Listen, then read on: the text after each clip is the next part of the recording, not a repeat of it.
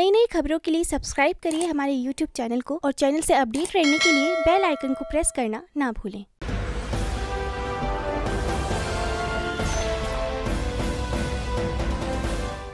नमस्कार, आप देख रहे हैं बले हिंदुस्तान में आपके साथ वंशिका पांडे।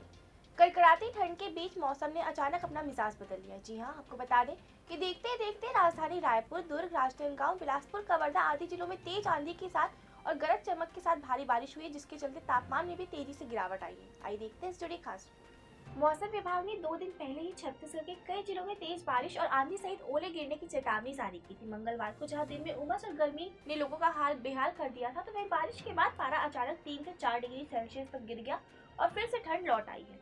आपको बता दें कि मौसम वैज्ञानिकों के मुताबिक 29 दिसंबर, यानी कि आज भी कुछ जगहों पर हल्की बारिश और गरज चमक के साथ आंधी चलने की संभावना है। इसके साथ ही प्रदेश के उत्तरी भाग में ओलावृष्टि की भी संभावना जताई गई है। मौसम वैज्ञानिक एस पी चंद्र ने बताया कि इकतीस दिसंबर को मौसम साफ़ रहने की संभावना है। उससे पहले प्रदेश के अलग अलग इलाकों में बदली छाई रहने के साथ ही हल्की बारिश हो सकती है।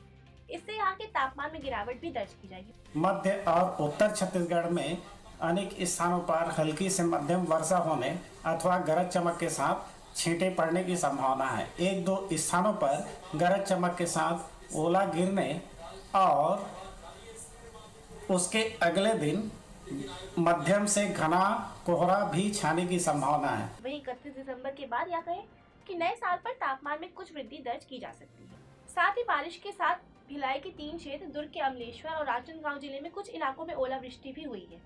लोगों ने ठंड के मौसम में गिरे ओला को जमा करने का भी आनंद लिया और साथ ही मौसम विभाग के मुताबिक ओला गिरने से तापमान में तेज़ी से गिरावट दर्ज की जाएगी और ठंड भी बढ़ सकती है।